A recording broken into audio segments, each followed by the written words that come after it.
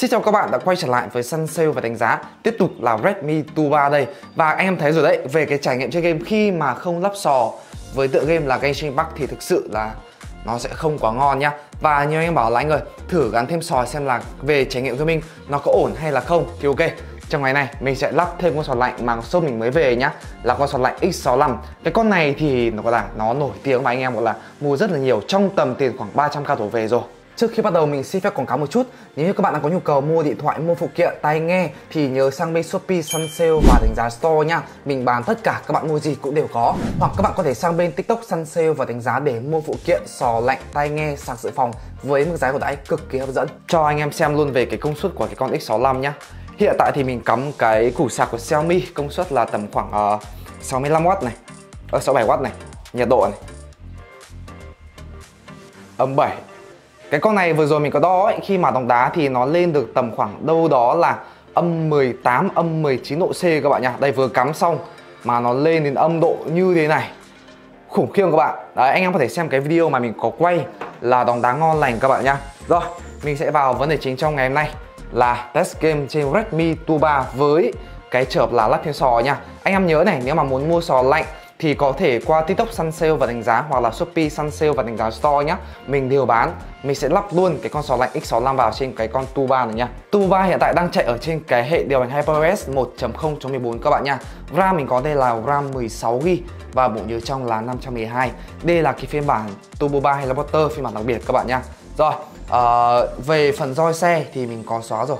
Anh em có thể check luôn trong này. Đã bật bật cái phần sâu nắp nha. Roi xe đó. Xóa giờ các bạn ha. Anh em lưu ý này với Redmi Tu 3 này khi mà các bạn có gắn con X65 này thì chỉ gắn được tầm khoảng như thế này thôi. Các bạn có kéo lên thêm nhá thì nó sẽ đè vào nguồn và rõ ràng uh, nó sẽ bị gọi là khởi động lại máy đấy. Rồi nhá quay trở lại với Genshin Impact. Uh, mình sẽ để cái mức đồ họa giống như thời điểm giống như là cái lúc mà mình có chơi hôm trước đấy là cực cao khoảng 60 fps các bạn nhá. Mình có bật để mấy cái để tăng cái tần số lên mỗi cầu lên các bạn nhá. Hiện tại còn 51% pin chơi thử luôn này. Đấy anh em thêm tiền vào mà không mượt nữa thì thôi, cũng chịu luôn.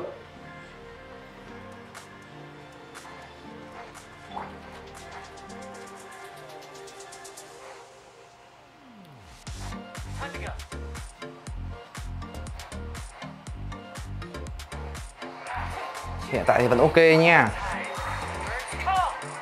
Đó.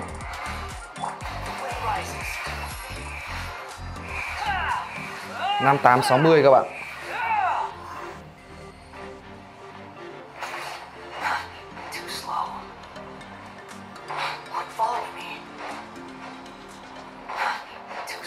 Cơ bản thì về nhiệt độ các bạn chỉ cần giải quyết vấn đề đấy thôi. Là điện sò là điện thoại các bạn là dùng ngon lành mượt mà luôn. Úi giời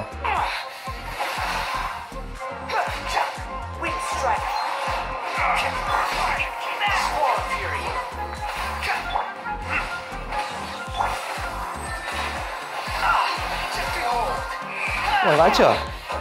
Một là mạnh vậy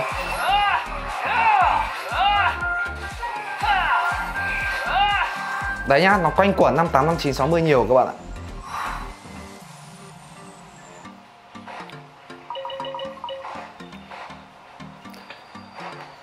Dạo gần đây anh em còn phân vân không chỉ là Turbo 3 với lại Redmi K70e Drop xuống 55 này.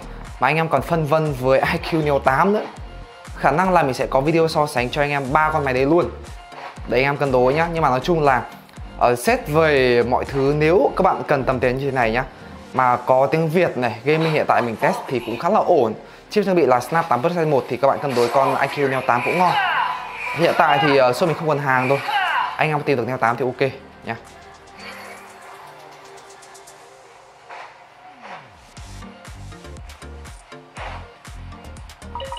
Anh em kêu trên các group bảo là cái con này chơi game bây giờ nóng quá. Và mình sẽ chuyển sang một cái map khác nhá. Vẫn là những cái map quen thuộc mà mình có test để xem là uh, nó có khi mà test cái map giống nhau ấy nó có vấn đề gì không nha. Đây chuyển cảnh vẫn rất mượt mà luôn anh em.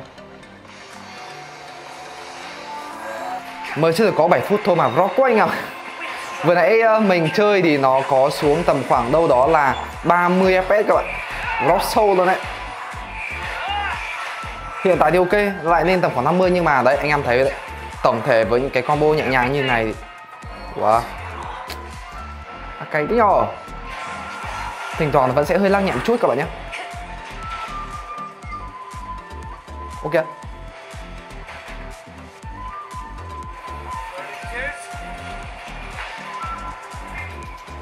tình hình lắp thêm sò lạnh vào thì chơi game nó cũng không có thực sự là ngon lắm anh em ạ. À, nó có cải thiện so với không lắp sò nhưng mà đấy lát mình sẽ cho anh em xem cái biểu đồ iPad nhá. Ok mình chơi được uh, gần 20 phút rồi. Mình uh, chơi cho đúng giờ đi. Sẽ giống như là những sản phẩm khác nhé để xem là pin nó có tốn nhiều hay không. Thường với mắt setting Genshin với cái uh, dung lượng pin 5000 hay 5000 rưỡi mình chơi thì nó sẽ tầm khoảng mất đôi 10% nốt thằng này nhá giết hai con quái này xong mình sẽ dừng đây. 20 phút các bạn nhé hiện tại này từ 51 xuống 39% pin tức là mất tầm khoảng đâu đó là 12% pin rồi. Ok, bây giờ thì mình sẽ dừng lại và cho anh em xem luôn biểu đồ FPS này. Nhiệt độ tất nhiên là nó chỉ ấm thôi bởi vì sao ạ? À, anh em uh, lắp sò như thế này thì nó sẽ không bị quá nóng. Đấy, đây là FPS Genshin. Trong tầm khoảng 20 phút này FPS trung bình là 53,9 các bạn nha. Đây. À, Tất nhiên là anh em thấy FPS nó sẽ không được thẳng tắp ở Như thời điểm trước mình chơi có lắp sò nhá Chứng tỏ các bạn thấy hiện tại với tối ưu game ở trên Redmi 2 với game nặng như thế này thì nó sẽ không thực sự quá ngon lắm nhá. Và đây, bây giờ mình sẽ chèn anh em FPS lúc mà mình không ăn sò và lúc lắp sò nhá. Bên tay trái là không lắp sò và bên tay phải là có lắp sò này. FPS các bạn thấy là nó có cải thiện nhưng mà vẫn drop nhiều các bạn nha. Đấy các bạn cảm thấy sao về hiệu năng ở trên Redmi 2 với game nặng là Genshin Impact? Đừng quên để lại comment dưới nhé Và tất nhiên, anh em nào vẫn khoái 2 thì mình sẽ để đường link ở phần mô tả cũng như là miền phim nhá. Em có thể mua tại Shopee, Sun Sale và đánh giá store hoặc là có thể mua tại cửa hàng trực tiếp Mobile City nha. Rồi, cảm ơn các bạn đã xem đến đây. Còn bây giờ, xin chào và hẹn gặp lại các bạn trong những video tiếp theo. Bye bye.